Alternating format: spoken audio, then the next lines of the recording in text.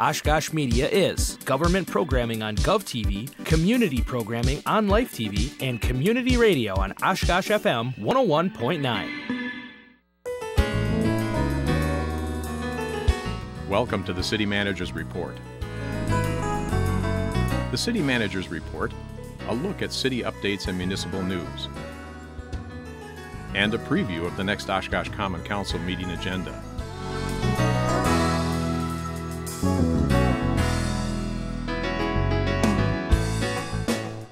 Welcome to another edition of the City Manager's Report. I'm your host, John Urban. Uh, we have sitting in for City Manager Mark Roloff this week is Assistant City Manager John Fitzpatrick. John, thanks for being with us today. Thanks for having me, John. Of course, uh, we're going to be talking about some highlights of the upcoming council meeting on uh, Tuesday, October 22nd. That meeting can be seen here live on City Cable 10. We're also going to be talking about some other news and notes of things happening around the city. And we're going to wrap up the program talking with the new finance director, Russ Van Gompel. So we'll be, uh, people can uh, tune in for that. He's going to be talking about the upcoming 2020 preliminary budget. So yes. that should be kind of interesting to hear what he's got uh, to talk about with that. Right. But we're going to start things off, John, talking about some news and notes of things happening here in the Oshkosh community. People might have noticed. First thing we're going to talk about is uh, motorists going across the Congress Avenue Bridge have to be aware of some closures coming up. Right. There's going to be a full closure coming up on Monday, um, October 21st, and that's going to uh, take place for the entire week, Monday through Friday. It's going to be closed from 7 a.m. to 3 p.m. on those days. So um, we want motorists to be aware of that. So that's a brief uh, maintenance project that the Department of Transportation is going to be undertaking.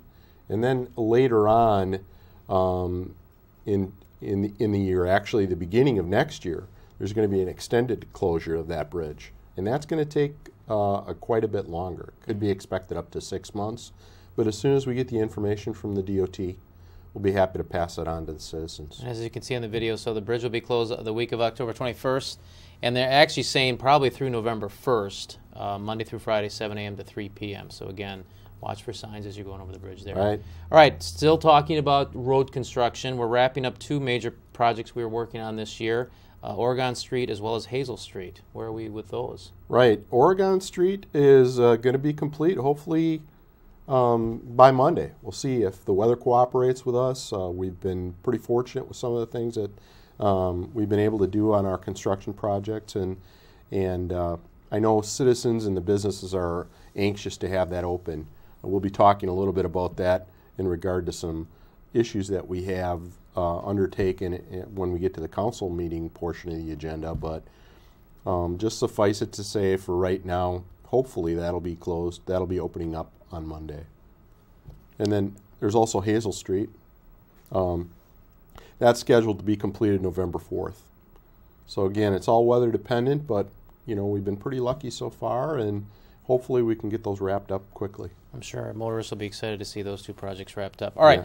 We also want to remind citizens that the uh, Parks Board meeting, originally scheduled for the October 14th, has been moved. Right, and um, it, the reason it was moved was because, of course, the Packers were on Monday Night Football on that Monday, and, and I know you're smiling a little bit, and you know I have to smile too, especially because they won. But but in addition to that, um, people may think, well, gee, why are we rescheduling meetings because of the Packer game? Um, the reason we do that is because we want to have full citizen participation, and um, we know that there are a fair amount of people here in Oshkosh that are Packer fans, and uh, if we hold meetings, especially during an important game like Monday Night Football, for example, they may choose not to participate or they may have other plans with their family. So we don't want to inconvenience them and we want to get their input. So it's just more convenient, I think, for the citizenry for us to reschedule that, and that's why we did it. And on this particular board meeting, the agenda is about the Lakeshore Master Plan. So that's a that's a big project. It People is have been big following project. that for, for several Right. several months now. So So we moved it rather than having it on the 14th, an important meeting like that. We thought it was a good idea to have it on the 21st. So it's going to be October 21st, 6 o'clock, Park Board meeting. So again, uh, be please uh, make note of that change. Right.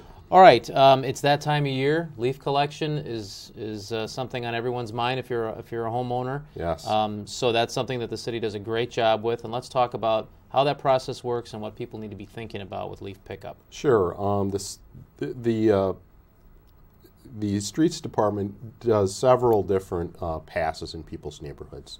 Um, but we want to make sure you try to get your leaves out there as quickly as possible, as soon as you can. And um, it's going to be held. It's they they go through this process for about five weeks.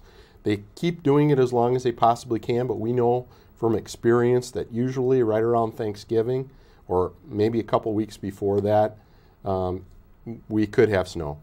So once snow takes place, then it's hard for us to, to operate our machinery. It just doesn't work properly. So I, I believe the same uh, the same rules still apply. Rake your leaves out to the terrace. Don't rake them into the street. Right.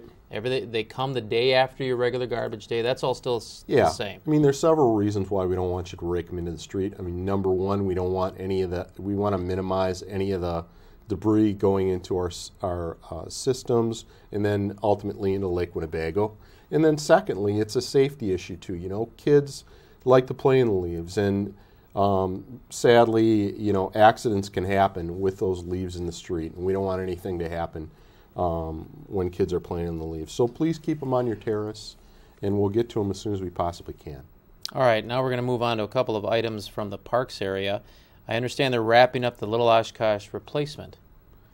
They are, yeah. That that project is moving along pretty well too, and uh, we're very excited to open that up to the public again. Um, it's my understanding that they're getting towards the end of the project where they're pouring the the pad, um, and that pad uh, is something that's a feature in in all, most of our new um, playgrounds, whereby it's accessible to people in, in wheelchairs um, grandma and grandpas, people that may have disabilities, um, so they can enjoy the, the playground equipment too. And, and it provides a better atmosphere for the families to enjoy it as a, as a group. So we're excited for that to take place, but that can't be poured if the weather is poor. So, and it takes a while for that to, to set up. So I think that needs to be done yet. I think some benches and landscaping need to be done, but we're getting pretty close to completion with that project. Okay, and then coming up this weekend is the ribbon cutting for the Rainbow Memorial Park ball field. That's another exciting parks project, and I think uh, for those people in the community that don't know, um, yeah, it was really spearheaded by uh, a citizen, Sid Supley, who raised a tremendous amount of money for that ball field. And uh, that ribbon cutting celebration is going to take place this Saturday at noon. I'll be there. Parks Director Maurer will be there, and you know we're going to honor her and, and all the other con- contributors that made this project possible. So we're very grateful. I think it's going to be a, another great venue for our citizens, and uh, it should be fun if you can get out there. I think it would be worth it. Okay, and then coming up at the end of the month, uh, the Zooloween Boo, a big event for families uh, around the Halloween time. It just seems to get bigger and bigger every year. I know Jenny does a great job, Jenny McCullion, and um, we have a lot of uh, employees that participate in that project. And uh, so it's it's going to be Saturday and Sunday at Menominee Park, 11 a.m. to 3, and uh, safe trick or treat, crafts, bake sale. Those are all things that um, we look forward to too. As you can see, the October 19th and 20th, 11 to 3, Menominee Park Zoo, and you can get the tickets for that, and it's always a great time for the for the families. Yes. Okay, and then speaking of Halloween, let's remind everyone about the trick or treat hours. I know there's we kind of have it established now of when it is in the city of Oshkosh. There always used to be that confusion. Yeah. But now it's kind of at lockdown. It is. It's locked down. It's always on Halloween. So it's October 31st, and the time is 5 to 7 p.m. So Okay. people can plan ahead. So keep that in mind. Get ready for the trick or treaters Thursday, October 31st, 5 to 7 p.m. in the city of Oshkosh. Right? All right, that kind of wraps up some of our uh, news and notes of uh, what's happening here in the city, John. Uh, we want to shift gears now and talk about some highlights for the upcoming Tuesday, October 22nd, Oshkosh Common Council meeting, live 6 o'clock on GovTV. So let's, um, I understand, John, we're, we're starting off the meeting um, at, the, at the very top. There's two presentations on possible developments here in the city. Right. And um, just to give citizens a, a heads up on this process, it's something that's that may, they it may be a little bit new to them in terms of how we present projects um, for approval. The council wanted us to adopt a process whereby they have an opportunity to see and hear some of the preliminary dialogue and ideas from developers before it even goes to the plan commission. So it's not any real formal approval process or anything. It's an opportunity for the developers to get in front of the council, talk about their ideas, And then the steps after that would be Plan Commission, some of the traditional steps, and then going forward for potential approval of some of the components of whatever the development may be. Okay, so the first presentation I understand is a uh, proposed apartment building. It is. It's uh, Morgan Crossing. It's phase two. So for people that are familiar with Morgan Crossing One, it's it's near the university area. It's um, housing that is not just uh, dedicated to students. And I see we have a picture of it. Uh, I think it, it's it's been a very popular development. I know that um, it's been uh, been fully utilized, and, and now the the idea of expanding that it's going to be a similar project. I think that they're going to be adding a floor on one of the buildings, and then also um, providing more buildings um, with underground parking for additional folks. Okay, so that's the first presentation. And then the second presentation, I understand, is to repurpose uh, the former Cabrini School. Yeah, that's that's a very exciting project. That's something that I know uh, local developers involved in, and um, for people that may or may not know where that is, Cabrini School is is uh, right off of Merritt, right next to Most Blessed Sacrament Church. And um, it's my understanding the developer is working with the church and has, um, since the school is closed, you know, they have an agreement to repurpose that and, and develop it into a housing uh, um, initiative. And so that's, that's pretty exciting. We want to keep the, the historic nature of it, the historic aspects, the beautiful architecture. And we've had several projects like this in the community that have really taken root, and I think they've been well received. It kind of preserves our history and kind of renews some of those buildings that are underutilized. So I think um, this will be an exciting project to, to gain more information on. So, John, what's next for these projects? Well, after the council just gets the initial presentation and impression, then it's my understanding they secure, they work on securing some of their funding, and then they bring their uh, solidified plans back to the plan commission, and then they they look at it and you know ask questions about how it fits with some of our criteria for development, and and and then may request, uh, for example, TIF funding, um, and that's really it's a pretty long, protracted process, but these are the very initial stages. Okay.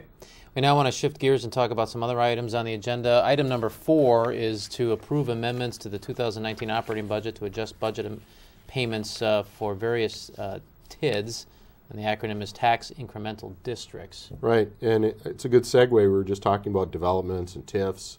And um, so when uh, tax incremental financing is set up for a particular area or a district, um, some projected uh, uh, advancement is is established. You know how they anticipate they're going to develop, and then what sort of payments they'll receive as a result of that. And um, so in this case, there are four items that need to be adjusted. The payments to these individual TIDs need to be adjusted. Two of them because the developments are doing better than what was anticipated.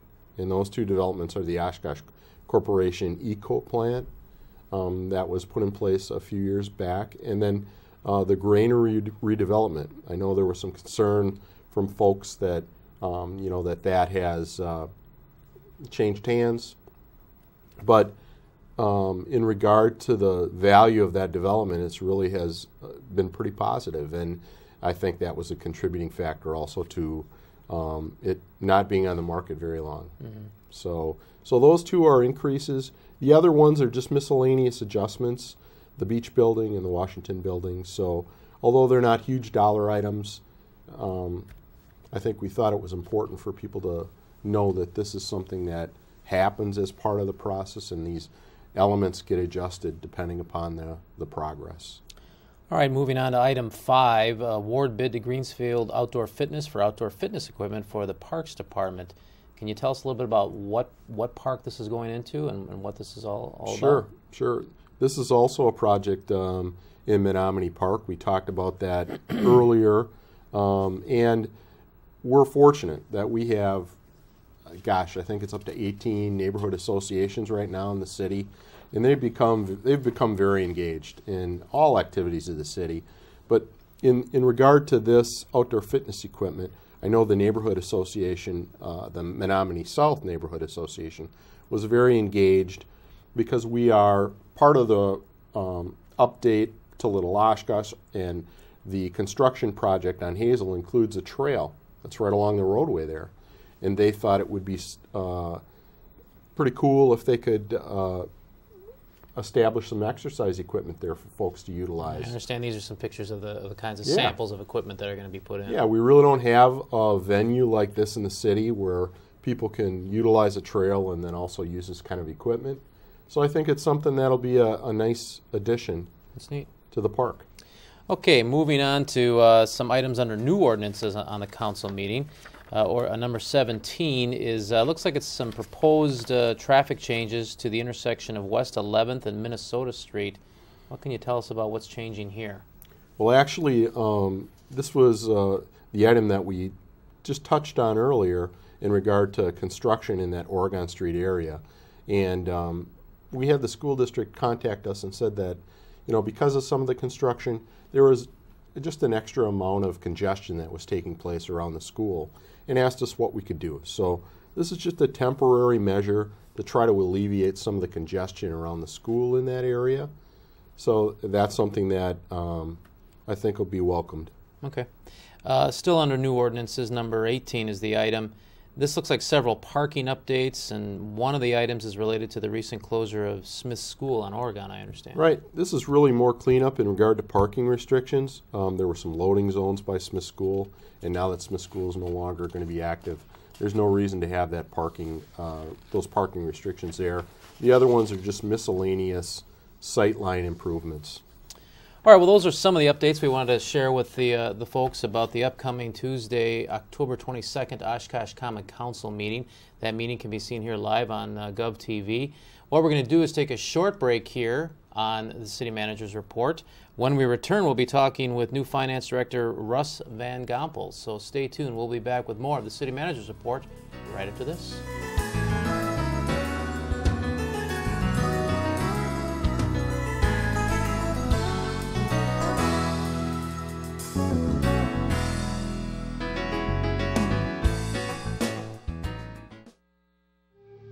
Over the years, the Oshkosh Public Museum's most popular programs have shared the life and death stories of residents laid to rest in local cemeteries. Some of these tales have even recounted the ghostly activity of those restless souls rumored to still remain among us. Cemetery Tales, the exhibition, features local mourning and funeral history, while artifacts, photographs, interactive displays, and other ghastly surprises breathe life into these local legends. Cemetery Tales, the exhibition at the Oshkosh Public Museum through October 31st. My name is Tori Heidemann. I'm the crime analyst at the Oshkosh Police Department. I'm here today to talk to you about our new app called Relay. You can download Relay free on the App Store um, on your cell phone. And what you can do is report any non emergency situation or tip to us via the app. Um, you can either just report it as something that you would type, or you can take a picture as well and send that over. It'll go right to our officers' MDC screens, and you'll be in touch with an officer from the Oshkosh Police Department directly, and they will let you know if they follow up on the tip, if they start a call in our computer systems, and where that has went from your tip.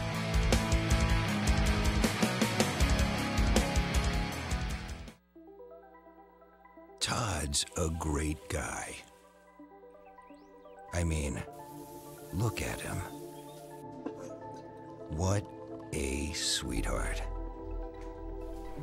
Attaboy. Wait, Todd, what are you doing? How totally selfish and un-Todd-like of you. Come on, Todd. Come on, man.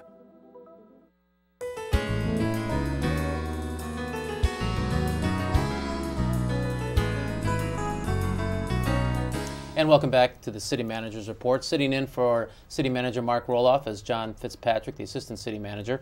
And in just a minute, we're going to be talking with the new Finance Director, which John will introduce. But we do want to talk about the budget. Is a busy time of the year for us here at the city as we prepare for the budget process. And right now, we're looking, of course, at the 2020 budget. And just to, for everyone to be aware, the budget workshops are coming up. Uh, they'll be live on GovTV on October 28th and 29th. They'll be all day, 8 to 4:30. So you can tune in and watch the budgets for all the city budgets as we go through that. So something to keep in mind for folks. October 28th and 29th on GovTV. You can see that 8 to 4:30. So what we're going to do now with the rest of the time we have in today's program, though, John, is we're going to be talking with the new finance director, Russ. And so I'm going to turn it over to you to introduce our new finance director. Sure. Thank you, John. Yeah, we're very happy to not only have Russ here today, but in our organization. We're very fortunate. Um, Russ joined us, I don't know, Russ, about a month ago, maybe? A couple months ago. A couple yeah. months ago. Seems longer. so I've known Russ for a little while, and um, he has a wealth of experience that we're really uh, grateful to be able to utilize here in the city of Oshkosh. I know he most his most recent assignment was the city manager job in Eau Claire, but maybe you can just tell uh, the citizens a little bit more about yourself and your background, Russ. Sure. I was uh, born and raised in Little Chute, Wisconsin, so and went to school at UW Oshkosh, so I know the community quite well. Um, and uh, took my career down to uh, Brown Deer uh, for a number of years, about 15 years, and became the city manager in Eau Claire.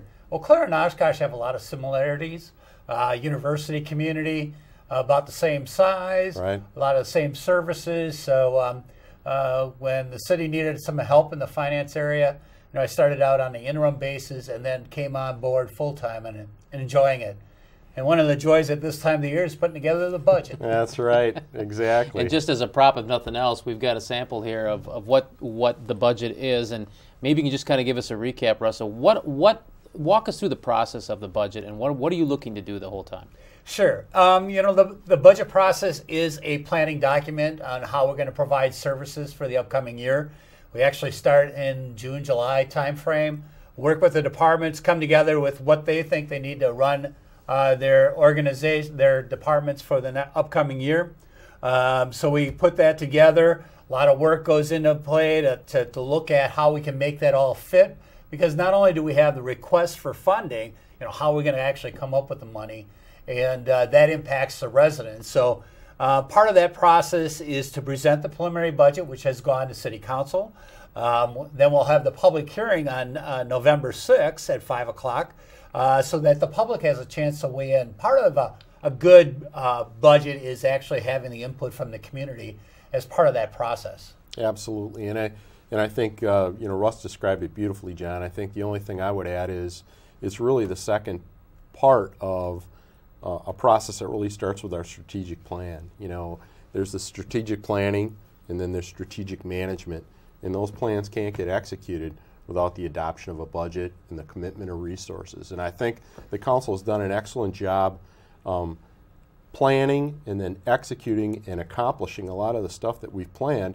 And it's it's really helped kind of focus our budgeting process too a little bit more. And I know that that's going to be a uh, a feature of the budget as we go forward. I know you're working on kind of modifying that document a little bit, Russ. You want to just talk briefly about that? Sure. One of the key components is, you know, how are we doing? And and uh, we've included inside the budget our key performance indicators. So, you know, how, how are the departments providing the service and, and what kind of service levels we are, we're providing? So that's an important part. Um, in- Absolutely. in addition to that, you know, how we're performing is, you know, how are you going to come up with the resources to pay for that? And uh, quite honestly, in Wisconsin, Oshkosh, Eau Claire, or other similar communities are all really reliant on the property tax levy to help support uh, the funding of our operations. Right. Can I just ask then? So, based on what we have in front of us as of today, what would the impact be for the homeowners here in, in the city of Oshkosh as, as the way the budget is right now? Yeah, again, we're working with a preliminary document. Uh, we'll receive the input from residents at the public hearing, but we'll also have the, those council uh, workshops, all day workshops on the 28th and 29th of October. So these could change, but right now we're looking at the, the biggest impact is how does that levy then get allocated across um, the assessments. And you look at the community for the total assessments, and the levy, quite naturally, most of the levy goes to our operations, which it, in government's called the general fund. And in Oshkosh, we have a lot of our levy going to debt service. Um, we have about 31% of our levy going towards debt service, and the rest gets allocated to some of the other functions. But uh, our general fund um, really takes up most of that levy. About uh, Uh, 48% of the levy goes to the general fund. And for 2018, right now, we're projecting an increase of 4.2% um, in the general fund portion. Uh, but, you know, again, we're kind of looking at how we can, you know, hold the line as best we can and still pay for those functions. Right. I know uh, we had some recent discussions about where we're at with our reserve and um, how we're doing on, uh, you know, accomplishing the, the targets that the council set. And I think, you know, based on what I've heard from you, Russ, we're doing pretty well. Yeah, the city's doing real well, and we're looking at projections for our fund balance through the end of 2019, and that'll allow us an, on uh, potential uses of that fund balance, maybe for larger one-time expenditures. You don't really want to use those accumulated reserves for operations. You really want to have a sustainable revenue structure going forward. Agreed. I think you said it very well, and I know that you know Russ mentioned uh, there was some debt service there, and and we want to try to maybe apply some of these things that we can take care of on a one-time basis, so we don't need to to borrow for those things. And I think that's going to be a focus for us and our organization as we move forward. Yeah, and, and in addition to our, our, operating budget, we also have our capital improvement plan, um, which again is looking at long range some of those major funding uh, projects that are out there. But from an operational standpoint, you know, we talked about tax levy support. We also get some aid from the state of Wisconsin, but unfortunately, that's been kind of frozen. So, you know, the amount of money available from what used to be called shared revenue and other sources is really dwindling down. But you can see in our general fund, which again is uh, most of our operations, really comes from the levy. Um, we have about uh, 35% coming from intergovernmental revenue sources, and then the remaining 24% from charges and fees and those type of things. But the public is also sensitive to what we're charging for fees and, and other charges. So it's kind of a balancing act. Absolutely. No, I know it is a balancing act, and I know we hear very clearly from the citizens about not only the tax rate, but also the fees. And that's why it's important for us to report on how we're doing so the citizens know what they're getting for their money. Exactly. Exactly. And, and then the other question is where does that general fund money go? Um, so, you know, most of our expenditures are on public safety side of things. Almost 60% is going to public safety. Uh, public works is another 14%, another 13% to uh, general government, and then some other things like community development, transportation, and parks. So it's a balanced budget, so that's always good from an accounting standpoint. So things are looking good there. But the big message is, you know, where do we go from here? You know, actually, the final adoption of the budget will occur on November 12th. And once that's done, then we kind of do um, the spread the, the tax levy uh, and get the tax bills ready that unfortunately comes out early December, and uh, that's everybody's favorite time of year when the when the taxes right. Get so, out. so to really recap, with the few minutes, few seconds we have left here, the budget workshops are coming up on October 28th and 29th, live at. On, uh, at from 8 to 4.30 so two days where people can watch everything going on there with the budget workshops for all the departments then we're going to have the preliminary hearing on november 6th at 5 o'clock yes and then the final adoption on November 12th. Correct. All right, and so that wraps up the whole process. There. And that's pretty common with most communities. All right, well, Russ, thank you again for coming on the show. No problem. Thank you, John, Russ. thanks for sitting in for Mark. Thanks for having me, John. So again, we have been talking about the upcoming Common Council meeting coming up on Tuesday, October 22nd at 6 o'clock. You can watch it here on GovTV. Certainly tune in. You can also watch the, uh, listen to it, uh, see it on our website, oshkoshmedia.org. You can listen to it on 101.9 Oshkosh FM, which is also online on our TuneIn radio app. Make sure to like Oshkosh Media on Facebook and follow us on Twitter for all your community and government programming updates. Thanks again for watching this edition of the City Manager's Report. We'll see you next time. Good night.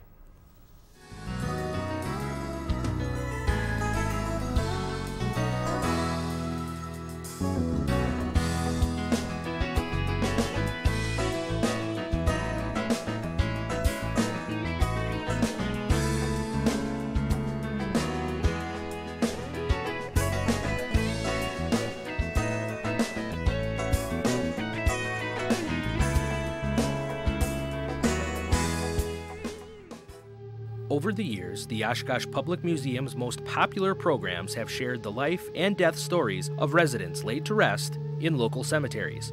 Some of these tales have even recounted the ghostly activity of those restless souls rumored to still remain among us. Cemetery Tales, the exhibition, features local mourning and funeral history, while artifacts, photographs, interactive displays, and other ghastly surprises breathe life into these local legends.